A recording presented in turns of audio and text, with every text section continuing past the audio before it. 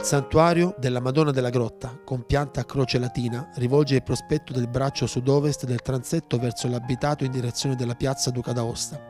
L'elegante portale barocco del 1579 verrà commissionato dal Monsignor Annibale De Capua, che l'anno prima, appena trentenne, era stato nominato arcivescovo di Napoli.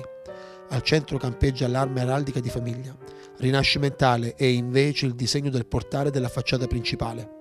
Più austero e di maggiori dimensioni, datato al 1575, sormontato da un grande rosone che si apre in asse. L'interno ha una pianta a croce latina Lungo la navata centrale sono presenti delle tele raffiguranti storie della vita della Vergine. Da sinistra quattro tele raffigurano l'annunciazione, la visitazione, la nascita di Cristo, la presentazione al Tempio. Lungo la parete destra l'incoronazione della Vergine, l'assunzione della Vergine, la discesa dello Spirito Santo e Cristo tra i dottori.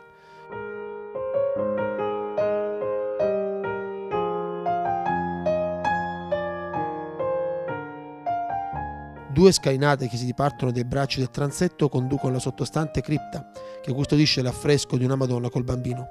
L'ipogeo era parte integrante dei locali dell'ormai inesistente chiesa di San Giovanni di Cacorzo.